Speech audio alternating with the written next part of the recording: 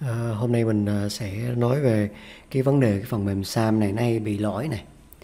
Ví dụ mình đang làm website xong rồi mình tắt mình tắt nó đi rồi bữa sau mình mở nó lên. Mình làm á thì nó bị lỗi nó không khởi động nó không chạy được MySQL thì coi như là những cái công việc mà mình làm ở trước đó coi như mình bỏ hết. Cho nên à, làm cách nào để mình khắc phục cái lỗi đó?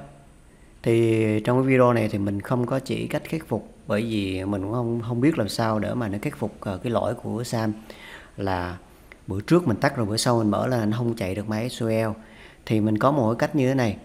Thì có một cách là các bạn sau một ngày mà các bạn làm việc với Sam xong á, các bạn thiết kế website với Sam xong á, thì các bạn tạo một cái bản backup các bạn lưu vào máy tính. Rồi sau đó, bữa sau á, ví dụ như nó có lỗi á, thì các bạn xóa cái phần mềm Sam đi, các bạn cài lại. Thì nó sẽ nó sẽ giúp cho các bạn là bảo toàn được những cái công việc mà các bạn làm ở trước đó. Ha thì uh, làm có nhiều bạn cũng không biết là làm cách nào để cho mình um, backup mình mình tạo một cái bản sao lưu của website. Thì uh, tiện đây thì mình giới thiệu luôn là các bạn nên dùng cái phần mềm uh, uh, cái plugin này để mà uh, lấy những cái bản sao website về. Mình mình đang có một website.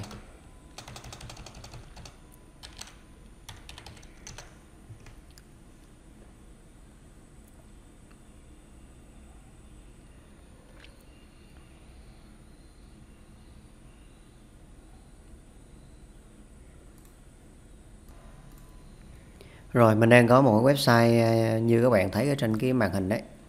Thì giờ mình mình mình các bạn sau một ngày các bạn làm việc xong rồi các bạn vào uh, các bạn cài cái plugin uh, backup về.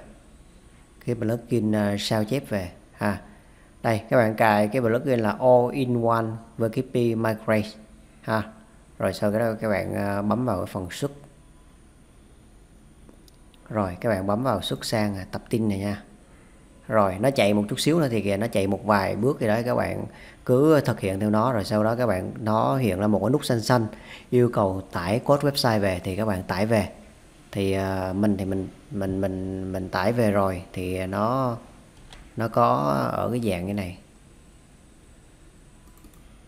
Đây nó có nó có cái dạng ờ, cái dạng như này thì ờ, là đây là cái bản sao của website ha thì ờ, mỗi lần mà các bạn backup á, thì ở trong cái plugin ờ, all-in-one này á, nó có trong cái phần backup này nó có cái bảng sao lưu.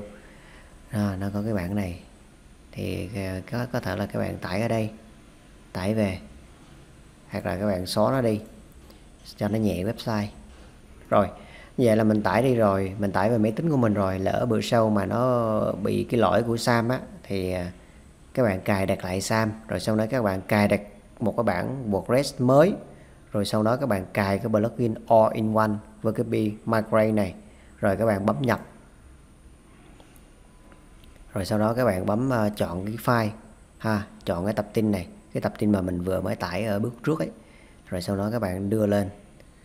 Rồi ờ, các bạn sẽ uh, tạo ra một website mà ngày hôm qua mà các bạn vừa mới làm xong ấy. Thì uh, làm những cái việc đó sẽ giúp các bạn là đỡ mất rất nhiều cái thời gian. Ví dụ như bữa trước à, mình bỏ ra uh, một hai tuần để mình làm một website nhưng mà uh, tự nhiên một ngày nào đó cái Sam nó không khởi động được thì các bạn mất cái website đó thì các bạn mất thời gian. Thì cái việc mà mình hướng dẫn các bạn cái này thì nó tiết kiệm được rất là nhiều thời gian ha. Ok xin uh, các bạn nhớ đăng ký kênh để ủng hộ mình nha à, mình sẽ làm những video về hướng dẫn về thiết kế website bán hàng thiết kế website về à, giới thiệu về dịch vụ giới thiệu công ty. Các bạn nhớ đăng ký kênh để ủng hộ mình nha.